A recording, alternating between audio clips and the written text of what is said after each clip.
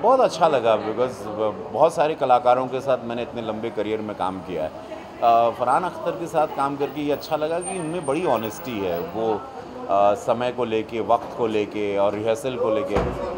बहुत ही बहुत ऑनेस्ट रहते हैं वो हमने बहुत कुछ सीखा उनसे कि इतना बड़ा स्वयं एक नाम एक ब्रांड होने के बावजूद वो अपने काम के प्रति बहुत ही